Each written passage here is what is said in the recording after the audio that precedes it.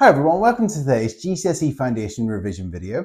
The 72 days are going to your GCSE Maths exams and if you've been watching these videos from the start, well done, you deserve a medal for sticking with it and I hope you're finding them useful.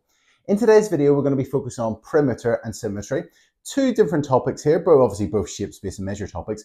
But I'm doing two topics today just so we can get a bit more material covered to leave us some more time towards the end where I'm going to be making special papers and stuff and uh, tests and stuff for you to do before the exam we'll go through those and so on. So I'm sort of going through a couple of topics today just so that we've got a bit more time towards the end to do some general revision things. So perimeter, Obviously, to find the perimeter of a shape, we're going to be finding the perimeter of shapes, and that's card number 16 if you've got the revision cards. So remember, perimeter is the distance around the outside of a shape. And in this video, we're going to be showing you how to do that. And I'll be giving you some questions to try yourself.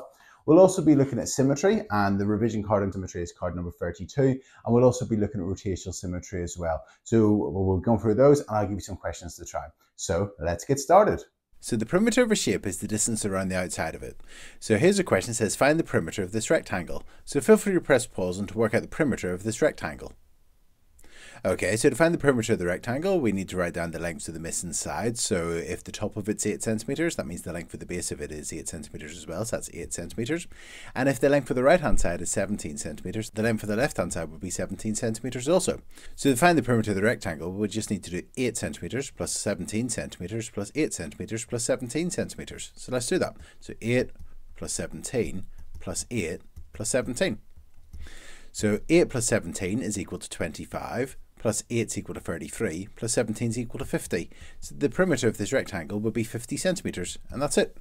Okay, let's have a look at our next question. So our next question says, find the perimeter of this isosceles triangle. So feel free to press pause and find the perimeter of this isosceles triangle. So to find the perimeter of this triangle, we're going to add up the distances around the outside. Now we do have a missing side here, but with an isosceles triangle, two of the sides have got the same length, and as you can see, the left-hand side has got the little dash on it, and so does the right-hand side. So if the length for the left-hand side is 9 centimeters, the length for the right-hand side would be 9 centimeters.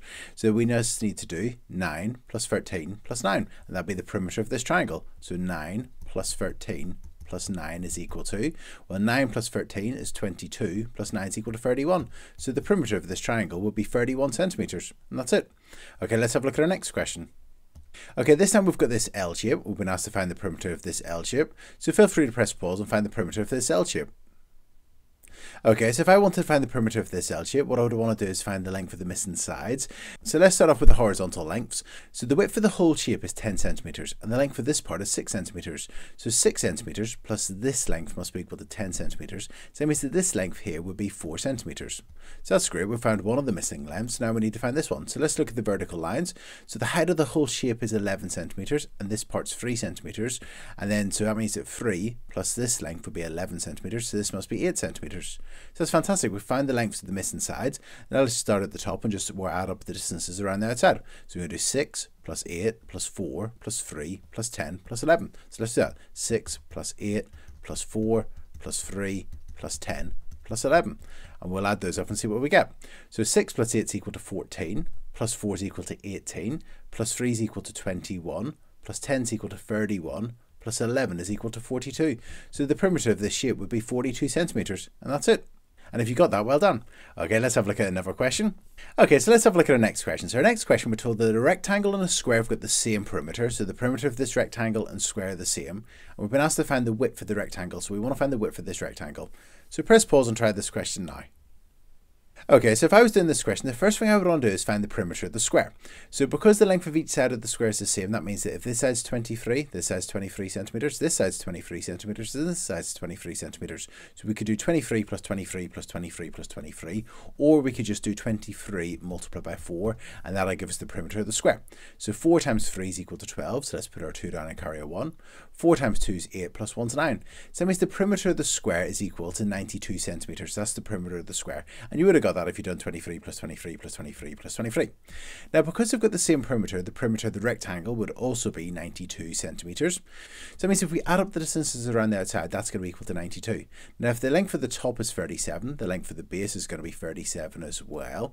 So if we do 37 plus 37, and take that away from 92, that'll tell us what's left for the left-hand side and the right-hand side. And then if we half it, we can then find the width of the rectangle. So let's do that. So let's do 37 plus 37, and that's going to be equal to 74. So that's 74 centimeters if we add up the length at the top and the bottom.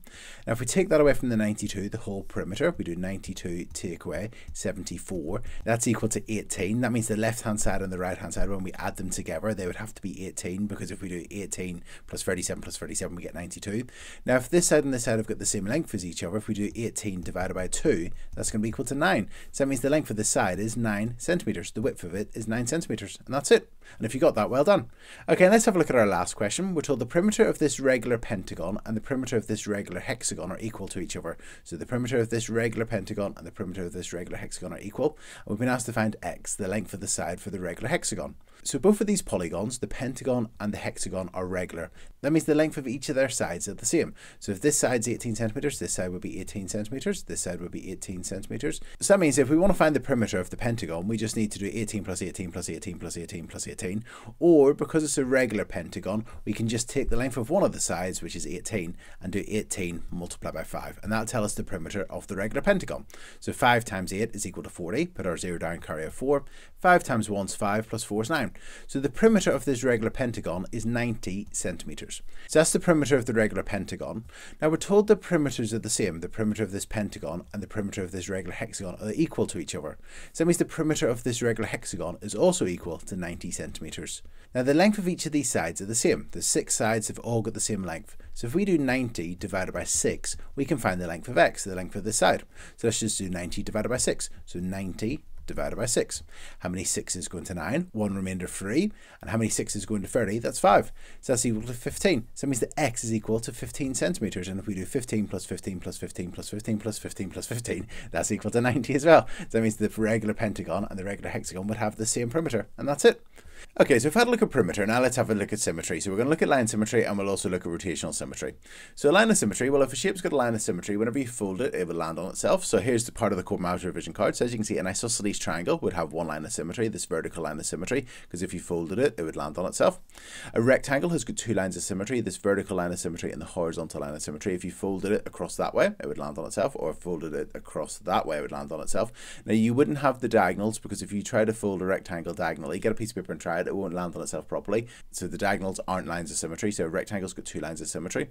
A square, however, it has four lines of symmetry. So it would have the vertical, the horizontal, and the two diagonals. It's four lines of symmetry. A parallelogram wouldn't have a line of symmetry. You couldn't draw a line of symmetry for a parallelogram.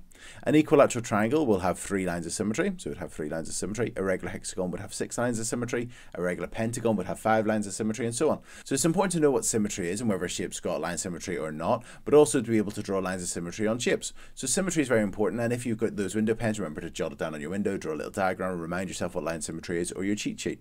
Okay, so we've looked at line symmetry. Now let's have a look at rotational symmetry. So to find the order of rotational symmetry that a shape has, what you do is you take the shape and you rotate it through 360 degrees, and you count how many times it lands on itself.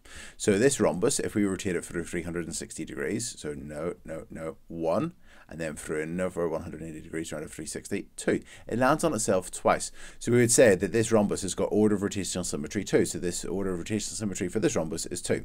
So let's have a look at this question. So the question says, circle the shape that has got order of rotational symmetry 4, or rotational symmetry order 4. So we've got four shapes. We've got this heart, this square, this star, and this isosceles triangle. Pause the video now and think which of these shapes has got order of rotational symmetry 4. Okay, so let's have a look at the heart. If you rotated that through 360 degrees, it would land on itself once. So the order of rotational symmetry for that heart would be 1. In terms of the star, the five-pointed star, if you rotated this through 360 degrees, it would land on itself 5 times. So the order of rotational symmetry for the star would be 5. In terms of the isosceles triangle, if you rotated this through 360 degrees, it would land on itself once, so it would have order of rotational symmetry 1.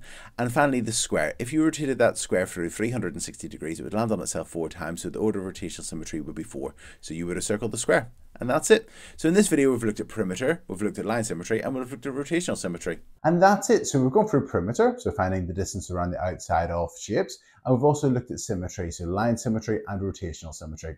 I really hope you found this video useful. If you have found it useful, please like and subscribe to the YouTube channel.